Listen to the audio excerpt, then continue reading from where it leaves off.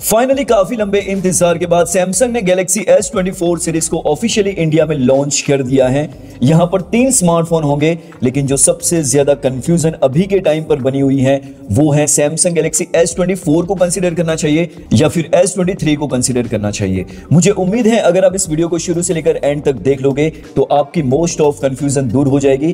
फिर भी दोस्तों, अगर आपके मन में कोई भी सवाल बाकी रह जाता है तो आप मुझे नीचे कॉमेंट सेक्शन में पूछ सकते हैं। बेसिकली इन दोनों फ़ोन में क्या डिफरेंसेस हैं? और अगर डिफरेंस हैं तो क्या रियल लाइफ मतलब प्रैक्टिकल यूसेज में वो कुछ काम आएगा भी या नहीं आएगा? तो सारी चीज़ें मैं आपके साथ शेयर करूँगा। कहीं मत जाइए, मुझे छोड़कर वीडियो को प्यार से लाइक कर दीजिए और चैनल को बेल आइकन के साथ सब्सक्राइब भी कर लीजिए ताकि आने वाले वीडियोस की नोटिफिकेशन आप तक पहुँचती रहे। सबसे पहले दोस्तों सैमसंग ने जो सबसे अच्छी चीज़ की है S24 सीरीज़ को सात साल के एंड्रॉइड अपडेट देखने को मिलेंगे। लेकिन दोस्तों, आप मुझे नीचे कमेंट सेक्शन में बताइए, सात साल तक आपने कौन सा एक स्मार्टफ़ोन लगातार यूज़ किया है? नीचे कॉमेंट सेक्शन में ज़रूर से बताइए। जबकि दूसरी ओर सैमसंग गैलेक्सी S23 को एंड्रॉइड 17 तक अपडेट देखने को मिलेंगे।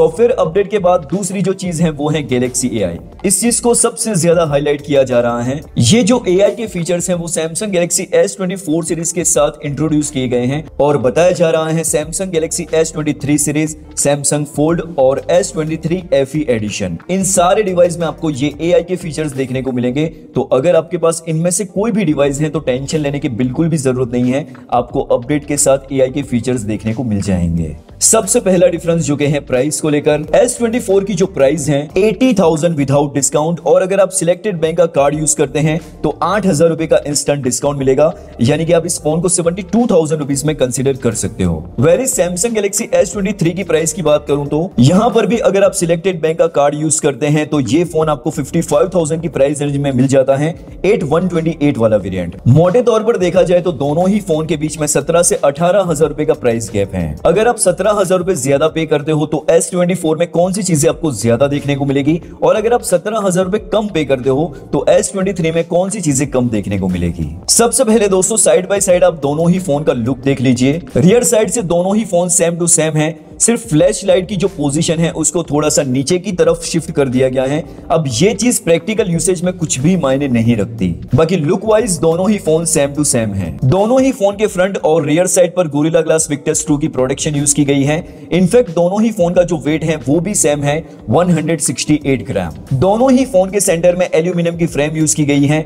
तो यहाँ पर भी मटेरियल वाइज भी कोई भी डिफरेंस नहीं है। अब दोस्तों डिस्प्ले वाइज दोनों ही फ़ोन में डिफरेंस क्या है? वैसे देखा जाए तो दोनों ही फ़ोन की display almost same to same है। फ़र्क सिर्फ़ इतना है S23 में 1750 निट्स की पीक ब्राइटनेस है, जबकि S24 में 2600 निट्स की पीक ब्राइटनेस है। प्रैक्टिकल यूसेज में ये जो डिफरेंस है, वो कुछ भी मायने नहीं रखता 1200 निट से ही अपना काम हो जाता है। अगर ज़रूरत से ज़्यादा ब्राइटनेस होगी तो आँखों को भी तकलीफ़ होगी, और दूसरी चीज़ बैटरी कंजप्शन भी ज़्यादा होगा। परफॉर्मेंस की ओर नज़र करें तो यहाँ पर डिफरेंस है।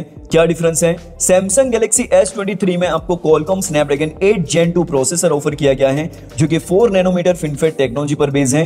काफ़ी ज़्यादा पावरफुल प्रोसेसर है। 11 लाख से ऊपर इसका एंतुदु स्कोर है। वेरी सैमसंग गैलेक्सी S24 में एक्सीनोस 2400 प्रोसेसर ऑफ़र किया गया है। ये चिपसेट भी 4 नैनोमीटर फिनफेट टेक्नोलॉजी पर ही बेस है। ऑन पेपर देखा जाए तो सैमसंग गैलेक्सी S24 का जो प्रोसेसर है, वो ज़्यादा पावरफुल है compare to Samsung Galaxy S23 लेकिन दोस्तों, आप में से काफ़ी सारे लोग इस चीज़ को अच्छे से जानते होंगे।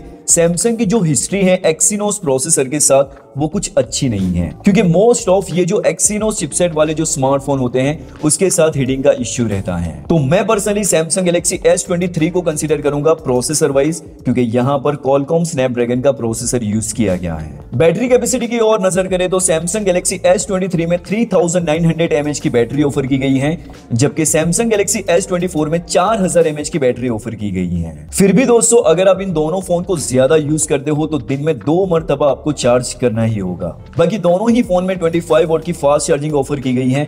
ज़ीरो टू हंड्रेड परसेंट दोनों ही फ़ोन को चार्ज होने में एक घंटे का समय लग जाएगा। इसी के साथ आपको दोनों ही फ़ोन में 15 वोट की वायरलेस चार्जिंग भी मिल जाती है। कैमरा सेक्शन की ओर नज़र करें तो दोनों ही फ़ोन में almost same to same camera setup है। 50 मेगापिक्सल का प्राइमरी कैमरा सेंसर 10 मेगापिक्सल का टेलीफोटो लेंस एंड 12 मेगापिक्सल का ultra angle lens selfie camera भी दोनों ही फ़ोन में सेम है 12 मेगापिक्सल का। Picture quality as well video quality इन दोनों फ़ोन में से आप कोई भी एक स्मार्टफ़ोन कंसिडर कर लो, आपको कोई भी निराशा नहीं होगी। फाइनल वर्डिक की बात करूँ तो मैं पर्सनली सैमसंग गैलेक्सी S23 को कंसीडर करूँगा, क्योंकि S24 में कोई भी बहुत बड़ा अपग्रेड नहीं है।